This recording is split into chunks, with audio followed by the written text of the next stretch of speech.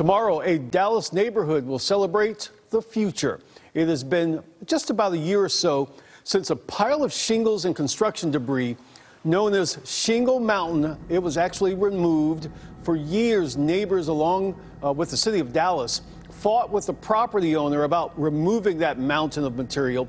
Now that the shingles are gone, neighbors, they want to see that land turned into a park. It's just something nice for the community, like I was telling them. Uh, something bad that was here, make it a good outcome out of it. We have been hurting so much down here on this property, and this is another way for you to start beginning to heal us, our community. Now, there is that property, by the way, has to be rezoned through the city, but there are working design plans for that park. Neighborhood block party, by the way, is scheduled for tomorrow. It starts at 6 p.m.